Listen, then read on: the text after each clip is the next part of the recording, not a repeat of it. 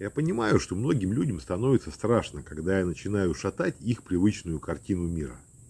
Поэтому я на время отвлекусь от пирамид, скафандров и всего остального.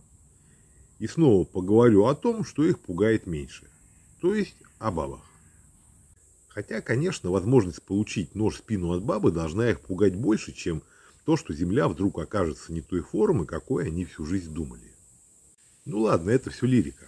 А сказать я хотел вот о чем. Те, кто имеет опыт совместного проживания с женщиной, наверняка замечали, что баба, как правило, затевает уборку только в тех случаях, когда к вам кто-то собирается прийти в гости. То, что баба не испытывает никакого дискомфорта от того, что в квартире срач везде валяются ее вещи, это понятно. Но вот то, что она как-то не старается угодить вам, это уже плохой сигнал. И, кстати, оценить то, насколько удачно для вас складываются отношения с женщиной, можно потому, можете вы или нет, сказать ей, чтобы она завалила ебало. В том случае, когда она позволяет себе открыть рот не по делу и пиздануть лишнего.